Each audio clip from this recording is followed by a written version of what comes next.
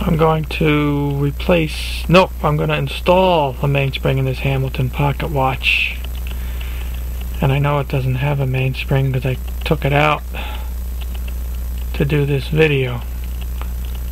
It's a uh, 974 17 jewel. So I already put the hands at 12 for a reason. And now I'm gonna I'm gonna pull this the crown out. Ugh, yeah, there you go. Okay, I'm gonna take the screws out for the case first. Let's see. One screw. Whoops. Yeah, I started doing my own mainsprings because uh, it's a lot cheaper than sending them to the jeweler. And uh, the tools I bought, they paid for themselves already compared to what I would have paid the jeweler.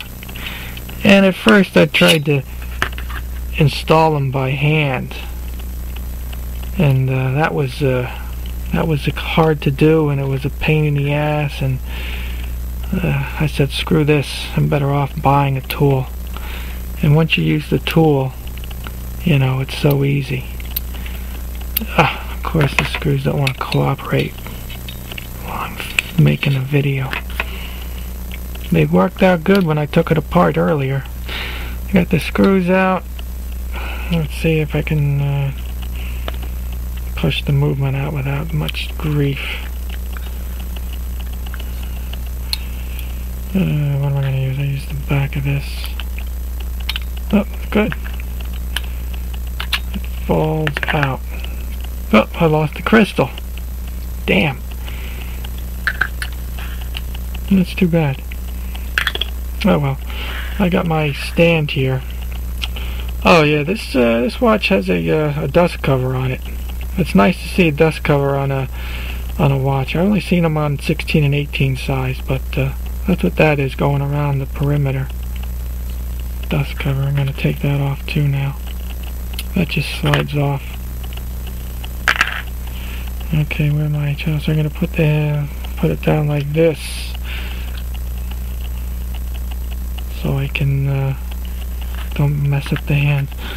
So now I'm gonna I'm to take this off first for the, uh, what's that, the winding wheel, I think. I don't know. I'm to unscrew that first. And, oh, let me get that of the way. So I got my uh, plastic uh, fruit container cap that I use for watch parts now. And this just comes off. I never like to touch the parts with my fingers because the sweat and oil from your hands will cause the steel to rust. And I don't want rusty steel.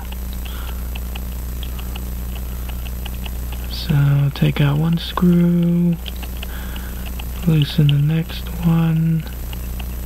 Ah, they're pre-loosened because I did this earlier. That makes a big difference. Okay, got the screws out. Well, this is kind of far away, isn't it? wonder if I can zoom it in. Let's zoom it in a little bit. So I'm going to remove the screws. Three of them. And this watch, they got little, uh, well you can see, little uh, slots for prying off the, uh, the plates. This one has two. So I'm gonna stick it in there and stick it in the other one. So it's loose and I just take it with my tweezers and I lift it off. So there's the movement with the one plate gone. I put this back down.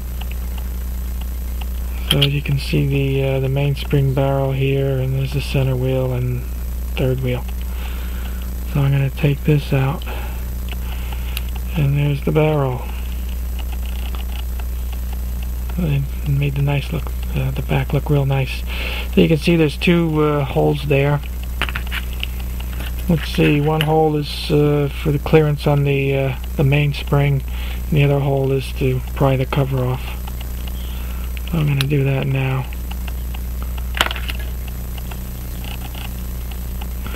And then I forgot to, I gotta see which way this mainspring goes in.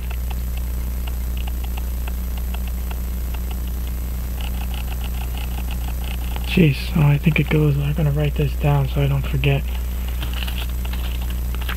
Looks like the main spring goes like this.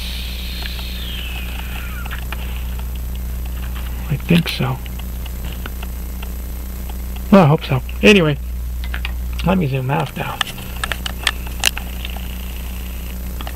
So I got the barrel, I'm going to put this aside. I got my mainspring over here, which I took out. You see, you got to get this big thing in there. And this has got a T end. I don't know if you can see that. Because at the end is like a T. The two little studs, so that's a T end. And uh, here's my tools, my winding tools. Let me zoom all the way out. Oh, okay, I got, uh, this is for pocket watches, my Marshall winder. It's in the box. And there's the, uh, the different sizes for the different barrels. This is for pocket watches, so I got six sizes. And then this one here, let's see if we can get the layer. This is a, another mainspring winder. This is for uh, wristwatches. You can see there's a big difference in size. Look how tiny those are compared to the other one. This one does those uh, ladies' watches, the real tiny ladies' watches, and then wristwatches. This is nice. So I'm gonna pick a uh, pick a winder that fits inside the barrel. Let me take this out. Yeah. So I gotta pick the biggest one that fits in there.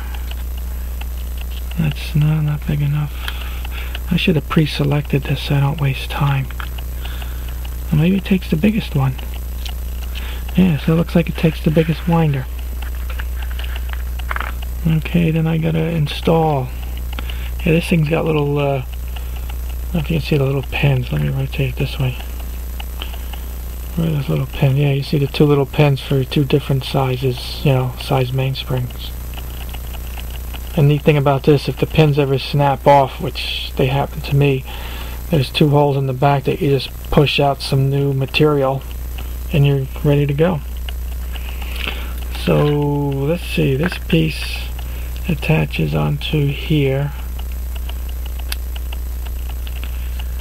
And uh, I'll put that aside then I have the mainspring. Now I wanted to wind up the mainspring like this. I have to push it in like that. Ah, I should have done this ahead of time. Whoops that was the computer. So that means it's got to go inside the watch like that. If it goes in the watch like that I have to push it in like that so I have to I'm pretty sure I got to put it in like this so I just put it on there. And it's not all the way in ah this thing slides. It doesn't want to go all the way down. Okay come on. There you go. I hope I didn't break anything when I did that. Okay I take this and I uh, make the two together I get the mainspring to start. Oh, okay. And then you just wind it in. Not the cut. Wind it in, wind it in, wind it in. And then I just relaxes. This is where I usually break the little pins off when I try to get this out. Well, let's see if I can do get it out. Come on, come on. Yeah, got it out. Let's see if I have it right, if I drew the right picture. Yeah, that looks good. Okay. So I got my barrel, and there's a little hole. Well, you can see the hole better on this side. That little hole, that's where the T end goes in, so you have to line it up.